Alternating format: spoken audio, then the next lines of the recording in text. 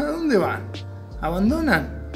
Hagan de cuenta que al Tucho, el líder de los chunchos, le metieron un panal de abejas en el pantalón. Regresó y se puso cara a cara con Martín. Nosotros no abandonamos nunca. Ustedes pierden, porque nos quedamos sin pelota culpa tuya. Y entonces se dio el escenario ideal, el que pensó toda la semana el Messi, y lanzó.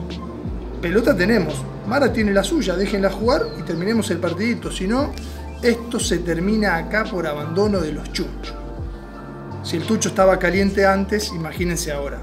Le salía humo por las orejas y los ojos eran dos pelotitas de tenis. Acá jamás jugó una nena. Mi papá dice que el fútbol es cosa de hombres, así que fin de la discusión. Dio media vuelta y encaró nuevamente hacia su bici hasta que escuchó la canción más dolorosa que puede oírse jamás en un campito. Dale campeón, dale campeón, dale campeón, dale campeón. Regresó bramando, nuevamente se puso nariz a nariz con Tincho, respiró hondo como un toro y aceptó de mala gana continuar jugando. Mara ajustó la colita que le sostenía el pelo, sonrió como siempre, puso la pelota naranja bajo su suela y contempló de arco a arco la canchita.